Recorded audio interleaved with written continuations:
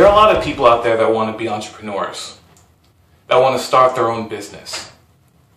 But they forget the one question that they need to ask before they ever start anything. That question is, why do you exist?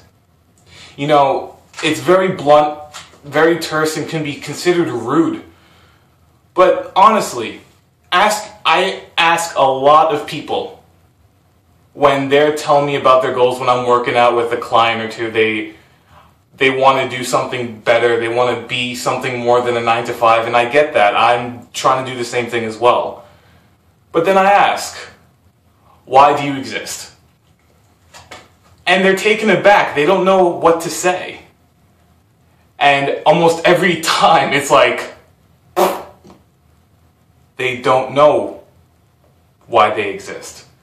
And see, every time they try to start a business, every time they start a new goal, they're gonna find roadblocks because there's not a mission, there's not a vision of what they need to be.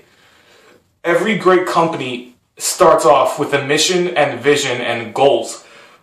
And that's the same way a person needs to be. They need to have a mission statement.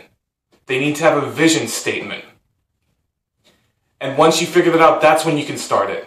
So for me, I figured out a long time ago when I started losing weight, when I started becoming the man I am today. Why do I exist? Why does Eric Vega Giordano exist on this planet? I, Eric Vega Giordano, have been put on this planet to inspire others to becoming the strongest version of themselves and to prove to everybody that you can become more than what society labels you as or more than you can expect of you. That is my vision. That is my mission statement for the rest of my life. I am going to inspire others. Now, yours may be different.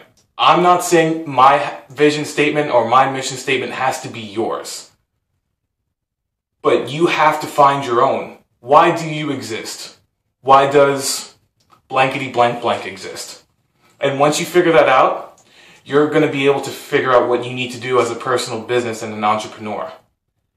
You can figure out what you need to do from there. So think about it.